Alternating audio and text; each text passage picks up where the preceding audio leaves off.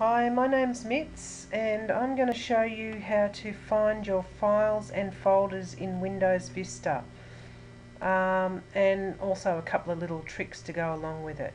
So what we're going to do is press on the start menu for starters.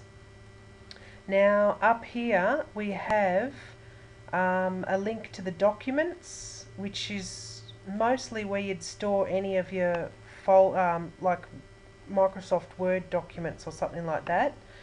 Uh, pictures and music. Um, these are the most common folders that people use. Um, just say you put your camera in and you put photos on the computer, they would automatically be taken to the picture folder here. So you can press on that. Um, just say you were writing a Microsoft Word, a letter in Microsoft Word, if you went to save it, it would automatically by default go to documents folder. Okay, now this is my username. So what I'll do is click on that and it will show anything to do with my user. Okay, um, so this is another way to get to the pictures folder or the music folder or stuff like that. Documents, downloads, contacts, all sorts of things. Um, also, up the top here, um, you can navigate around like this. If you press these little arrows here, it um, shows you what's contained in this section. So in the MITS section, which is my user, these are the folders, okay, that are in that section.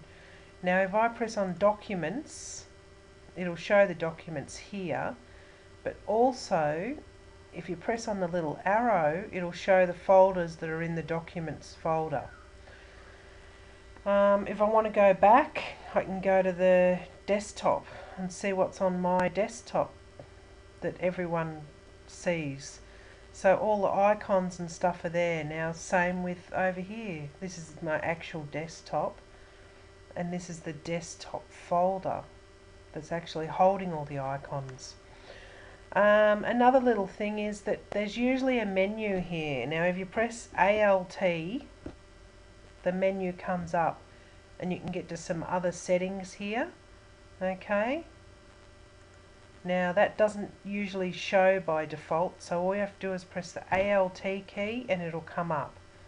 Okay, there's more things in there like customizing your folders and folder options and stuff like that. Um, also, another thing that you can do is you can right click in this space here and say copy the address or copy the address as text or edit the address.